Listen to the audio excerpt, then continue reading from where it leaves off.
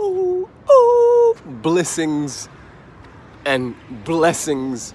Preston Smiles here. Stop in the name of love if you didn't catch that uh, reference over there. Uh, today's transmission is about surviving R. Kelly. Um,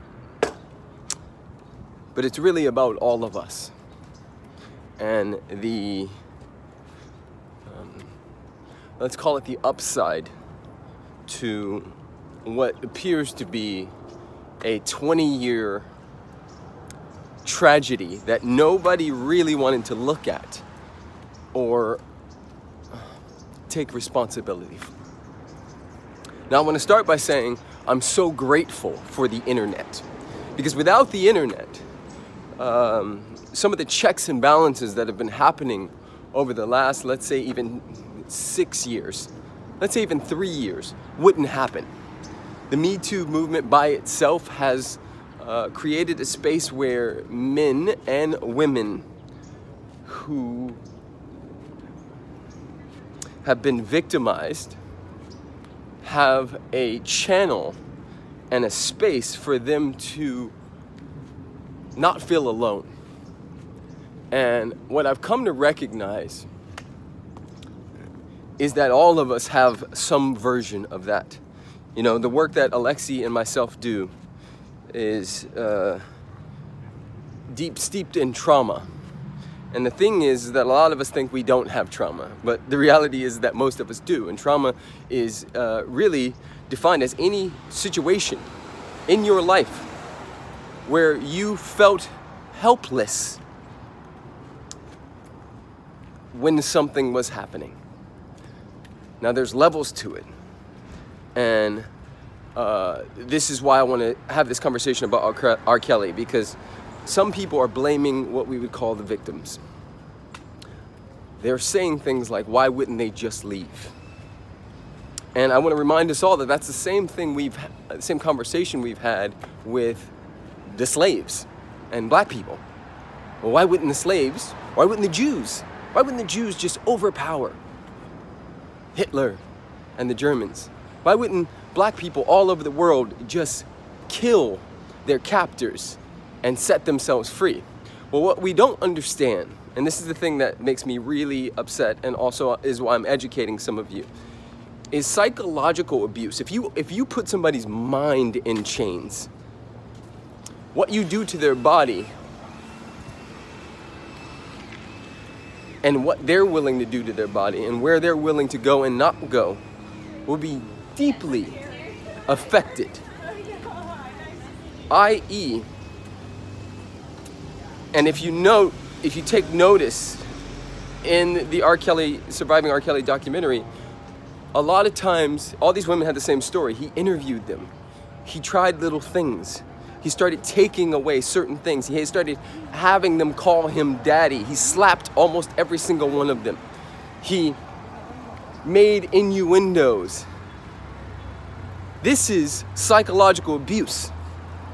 This is a subtle way to see how far you can go, knowing that you're gonna go really far.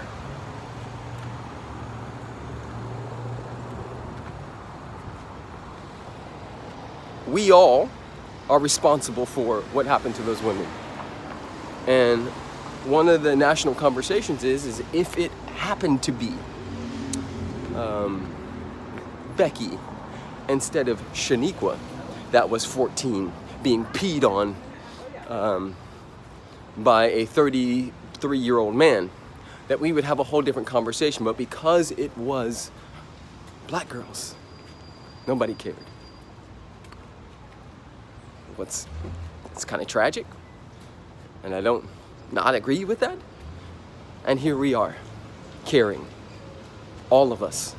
So, um, what I want to mention and remind us all is that in these times, it's very easy to just be in the conversation of he's an asshole, he's a terrible person, he, as if it's this one person.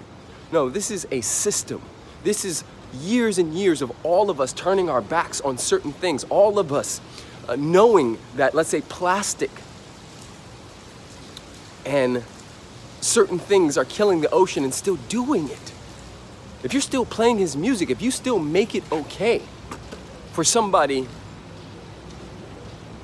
to hurt other people because it's not directly affecting you, that's the, that's the conversation, uh, you know, that, that some black people have. I've had that conversation. It's like nobody cares that our kids are being murdered and annihilated day after day by the police, by the system, by all of these things. Nobody cares because it's not their kids until it's in your backyard. But the reality is, there's only one of us here. We are one. We are one.